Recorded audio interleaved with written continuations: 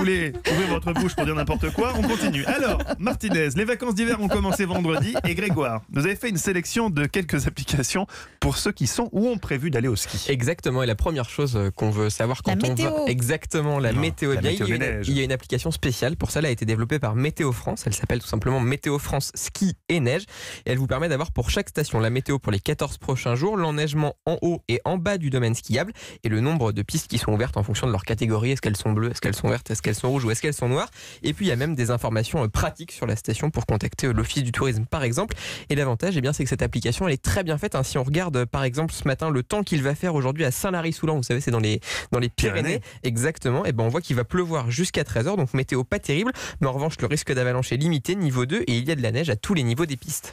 Et, et si justement on veut pouvoir se retrouver sur les pistes, il existe aussi une application. Et ben oui, ça existe aussi. hein. Le plus simple, là, c'est de télécharger l'application GPS on Ski Map. C'est disponible sur iPhone et Android. Et ça va- Génial. Voilà, ça va vous proposer en fonction de la station de- dans laquelle vous êtes de télécharger les plans qui sont disponibles. Alors vous avez bien sûr euh, ceux des pistes hein, pour vous repérer, et puis vous avez Avec les aussi petites pistes en couleur, les Avec- noirs, les rouges, exactement les bleus. les, Oui, parce les que si pistes t'as en- pas les couleurs, c'est horrible ça.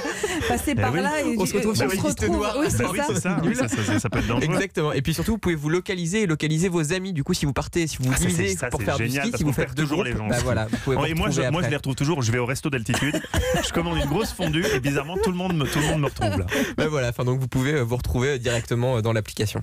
Merci beaucoup, Grégoire Martinez.